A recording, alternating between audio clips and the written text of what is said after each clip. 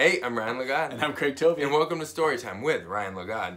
And Craig Tovey. Remember, if you like what you see, follow us on Instagram. Or go to our website, ryanandcraig.com. You can watch all of our read aloud videos there. Or you can send us a message.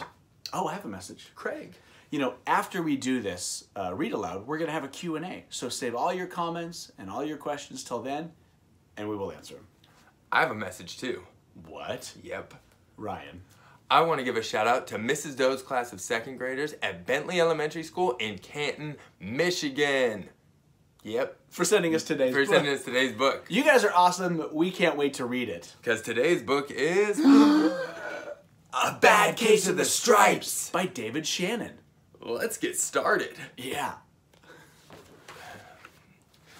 Moving position.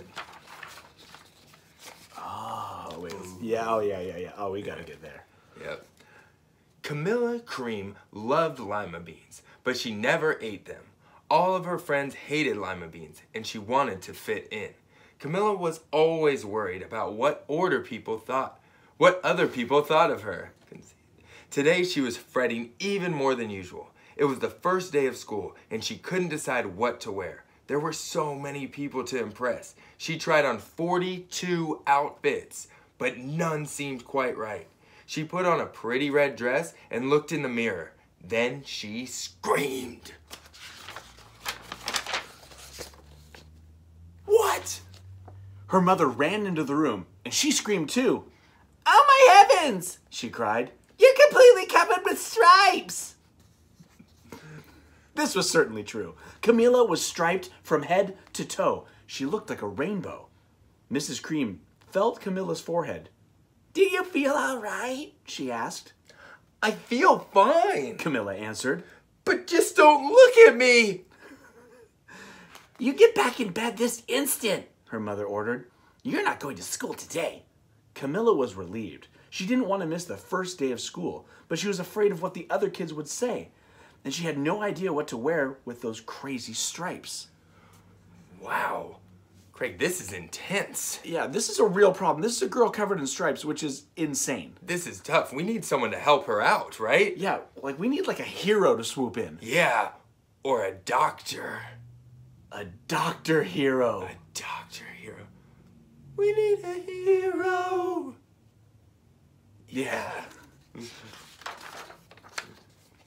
That afternoon, Dr. Bumble came to examine Camilla. Most extraordinary, he exclaimed. I've never seen anything like it. Are you having any coughing, sneezing, runny nose, aches, pains, chills, hot flashes, dizziness, drowsiness, shortness of breath, or uncontrollable twitching? No, Camilla told him. I feel fine.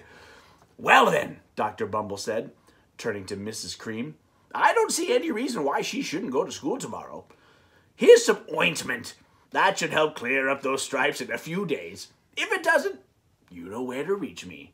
And off he went. I just sends her to school. If the if you feel fine, you're good to go. No twitching. Go to then school. you're good. Perfect. That is Doctor Hero there. That's what we needed. That's what we Okay, needed. this should clear up This should be now. fine. He said she's fine. Okay. Can't wait to see it happens. Yeah. The next day was a disaster. Everyone at school laughed at Camilla. They called her Camilla Crayon! and Night of the Living Lollipop. She tried her best to act as if everything were normal, but when the class said the Pledge of Allegiance, her stripes turned red, white, and blue, and she broke out in stars. She's patriotic. Not normal. No, it's weird. It's weird. Wow. The other kids thought this was great. One yelled out. Let's see some purple polka dots. Sure enough, Camilla turned all purple polka dotty. Someone else shouted, A checkerboard. and a pattern. That's a chess kid. he likes chess. he likes Yeah, chess. and a pattern of squares covered her skin. Soon everyone was calling out different shapes and colors, and poor Camilla was changing faster than you can change channels on a TV. See, back in the day, Yeah, you didn't pull the plug. yeah, you had to change channels and not consistently. You couldn't guide and you couldn't just kind You of had to see everything. get up from the you couch couldn't see cool people on YouTube the way you can now. I'm not naming names. It's Ryan and Craig. Okay, here we go. That night, here, let's get it closer. There we Yeah. go. That night, Mr. Harms, the school principal, called. I'm sorry, Mrs. Cream. He said, I'm going to have to ask you to keep Camilla home from school. She's just too much of a distraction, and I've been getting calls from the other parents. They're afraid these stripes may be contagious. Camilla was so embarrassed. She couldn't believe that two days ago everyone liked her. Now nobody wanted to be in the same room with her. Her father tried to make her feel better. Is there anything I can get you, sweetheart? He asked. No, thank you. sighed Camilla. What she really wanted was a nice plate of lima beans, but she had been laughed at enough for one day. What's with these lima beans? Yeah. I don't know if I've ever had lima beans, if I'm being honest. Yeah. Aside from lima beans, there's some important, there's some problems going on here. Yeah. We need, we need someone to help. We need a hero. But that didn't work last time. No. What if we had a bunch of doctors? A bunch of doctor heroes? Yes. I think that's it. Yeah. We need a hero. Rolling onto a hero at the end of the night. Yeah. Yeah. Yeah. Ha! There they are. Oh my gosh. Doctor Heroes. Hmm, well, yes, I see, Dr. Bumble mumbled when Mr. Cream phoned the next day. I think I'd better bring in the specialist. We'll be right over. About an hour later, Dr. Bumble arrived with four people in long white coats. He introduced them to the Creams. This is Dr. Grop, Dr. Sponge, Dr. Cricket, and Dr. Young. When the specialist when the specialist went to work on Camilla, then the specialist went to work on Camilla.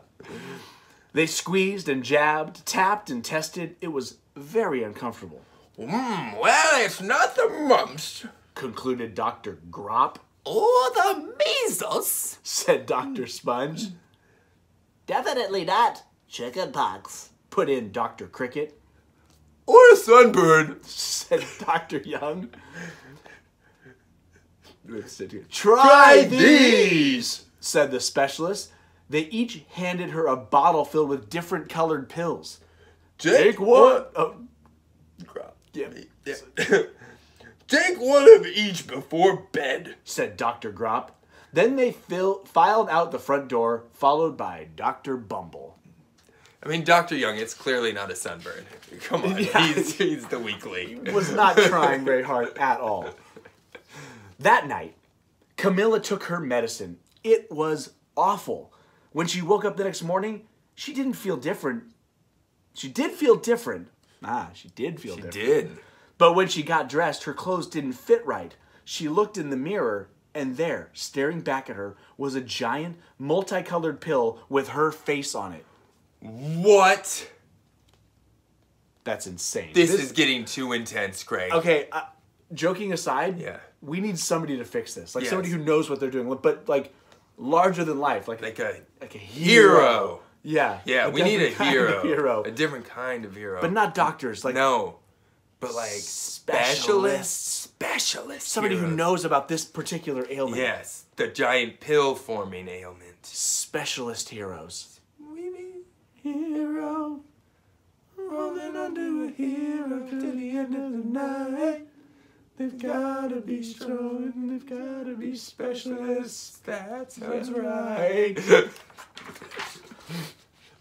Dr. Bumble rushed over as soon as Mrs. Cream called.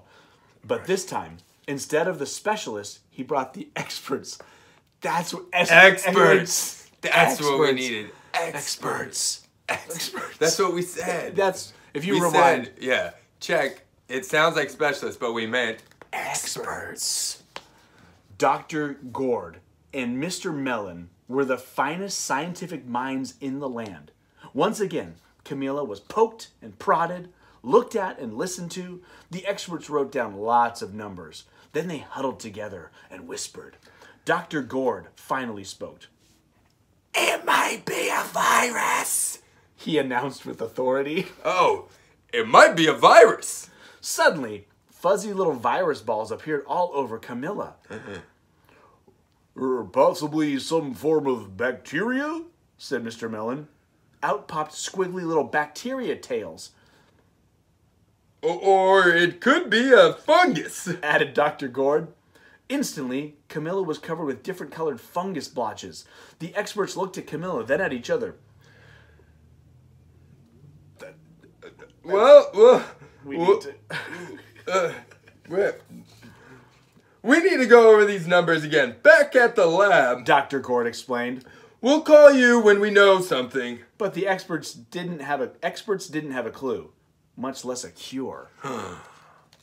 So they are going over the stuff, but they have no answers?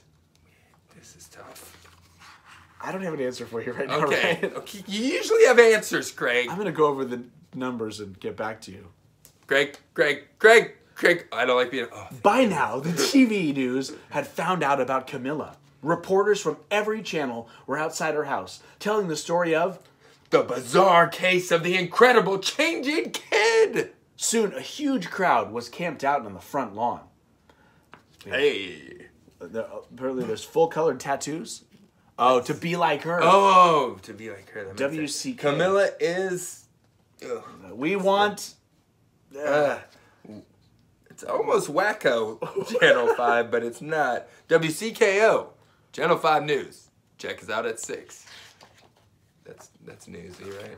Okay. Oh my gosh. Oh my goodness. What? The creams were swamped with all kinds of remedies from psychologists, allergists, herbalists, nutritionists, psychics, and old medicine man, a guru, and even a veterinarian. Even so-called cure, each so-called cure only added to poor Camilla's strange appearance until it was hard to even recognize her. She sprouted roots and berries and crystals and feathers and a long furry tail, but nothing worked. Okay. This is getting so out of hand. Yeah. I can't get worse. I don't, I there's can't- no way- possible way this could get, get worse. worse. Thank goodness. all. Thank goodness. Thank goodness. Phew. Phew. Okay. Okay, we're on the Anyway, what happens next? Oh. Well, there's a really interesting looking room. Yeah, Anyway, those paintings look like eyes. Hmm. one day, a woman who called herself an environmental therapist claimed she could cure Camilla. Close your eyes, she said. Breathe deeply and become one with your room. Oh boy. Oh, yes. Oh, that is not what you tell Camilla.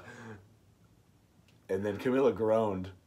I wish you hadn't said that. Slowly, she started to melt into the walls of her room. Her bed became her mouth, her nose was a dresser, and two paintings were her eyes. The therapist screamed and ran from the house. "Oh, what are we going to do? cried Mrs. Cream. It just keeps getting worse and worse. She began to sob. Okay. Wow. Mom's crying. Camilla's an actual room. She's a room now. It's she's a whole room. But Craig, we need something. we need like I mean, okay, so if it's not medicine woman or like, you know, environmental Herb- therapist and an or herbalist didn't work. What are we Yeah. gonna do? And a medicine man? yeah, You know and a we need? veterinarian didn't help her. You know we need? A good old fashioned old lady.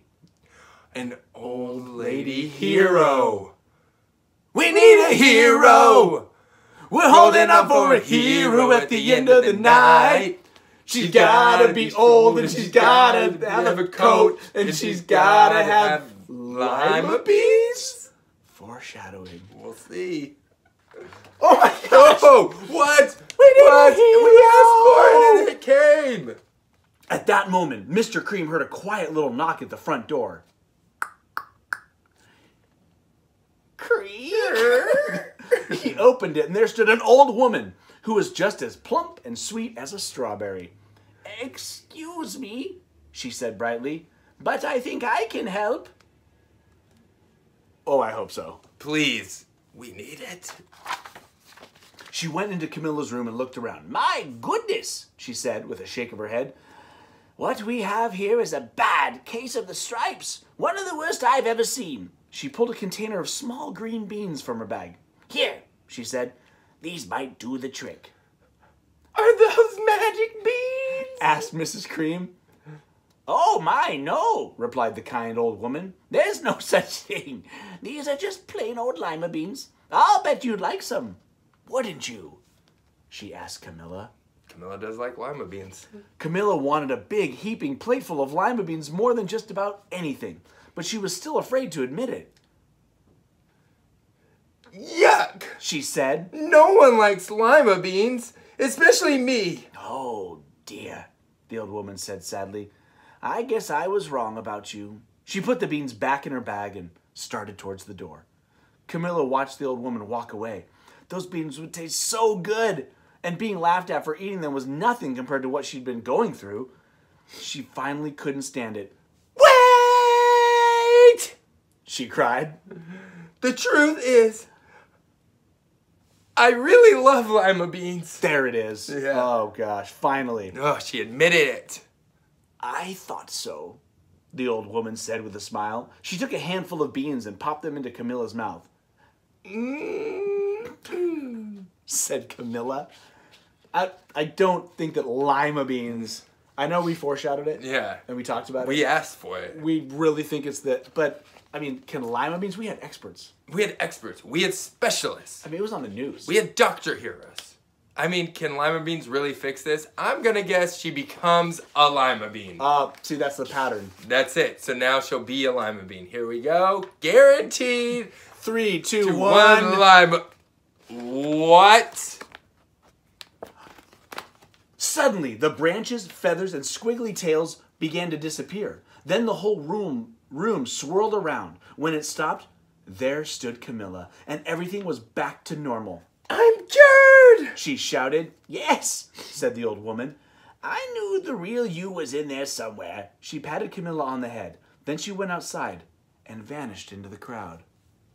Bye now. Oh, see ya. Goodbye, I'm magical old woman. Oh, oh, bye, lady. Our arms are still there.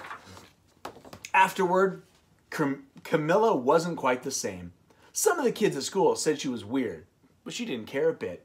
She ate all the lima beans she wanted, and she never had even a touch of stripes again.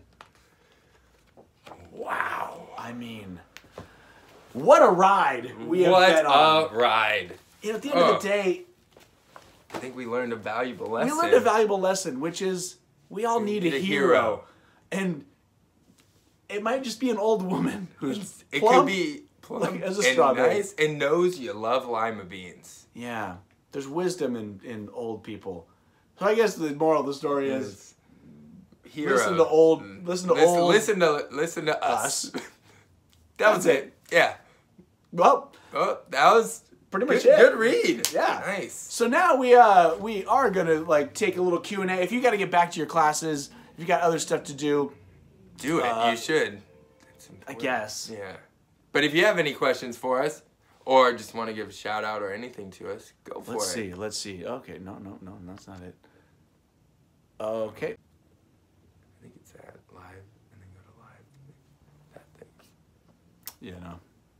Live chat, all messages available. Visible, available. Cassie Sunshine says, one of my favorite books as a kid. I've been watching for you guys to read this one. So excited to share the all of it with the uh, so excited to share this with my niece later. We love you.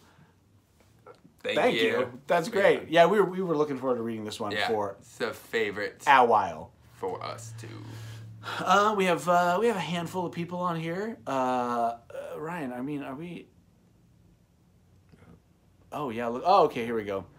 Miss Early's class in the Outer Banks of North Carolina is excited to hear you live this morning. Hey, Miss Early's class. Lisa Early, I think she sent us a book before. She right? did, yeah. Uh, Denise Cushing, Bradford K three is excited to join you. Okay. Oh, what about that one? My class loves your videos, and we were excited to get our Creepy pair of Underwear back signed from you both. We would love to have you come to Outer Banks to visit our school. Whoa! Gosh, we would love that too. Yes. We're and gonna, we're, get, we're gonna get our team right on that. yeah, we're working on getting some tours put together, so sit tight.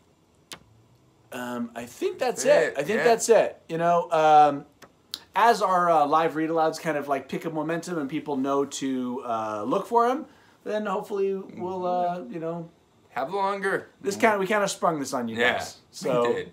So we'll see next month we're doing it, and we'll put some posts out about it soon. But This was awesome. So with that, I'd say I'm Ryan Lagod, I'm Craig Tovey. and we're signing off. Bye Bye. now. See you next year month. See you next year.